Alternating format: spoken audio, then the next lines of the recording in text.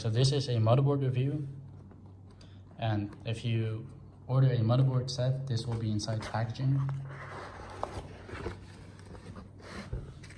You'll see that there's four parts. So you have the motherboard, and you have a um, compatibility box and a wiring cable with a programming cable. So with our programming cables, you can actually adjust the maximum speed and also the acceleration strength for your scooter. So it can fit your needs. Let's say you buy one of our motherboards, but you don't want it to go 65. Let's say you wanted to go 50 or maybe 40 or 35. Whatever you want, you can just hook it up into the computer and start programming it and adjust the speed to your own liking. Not only will we give you the correct software, but we will also send you detailed instructions on how to program the motherboard and also a programming video. The nice thing about the fact that our motherboards are programmable is that it's actually cross-compatible across different scooter models. So you see our motherboards, they're physically larger in size than the original motherboard, and this is because they allow for more ampere, so you can get a higher maximum speed and also more acceleration. And then we have a compatibility box to make it compatible with the scooter.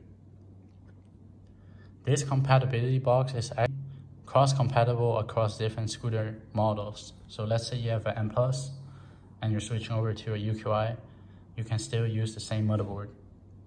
This motherboard will actually also even fit a N1S, but I would recommend getting the larger size motherboard, which I'll show in a second because there's more power in the N1S than 65. So this is the size for a um, 65 kilometer an hour motherboard.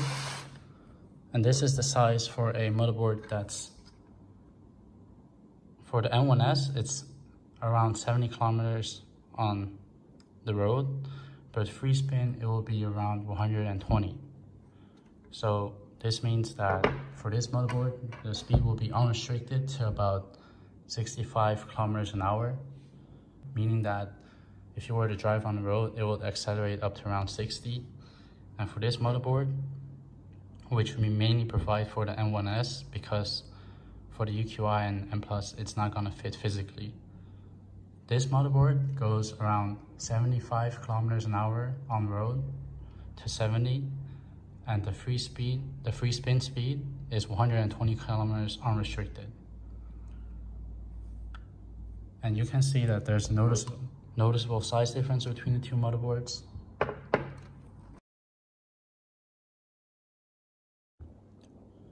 You'll see that there's a connector cable and one half of the side has a black USB head. So if you would install this, you have to stick this side with the black head into the motherboard first. So you just stick it in. There's only one direction. After you stick it in like that, you'll see that this USB adapter can just be connected like this. And then you can just plug it into your computer with the USB. Then we take our black box and you'll see that there's two sides one that says KZQ, which stands for motherboard, and one that says car. The car side will go into your scooter cable will also look like this and the scooter cable side will have to go into the car side. So you take this side with the KZQ and you connect it to this side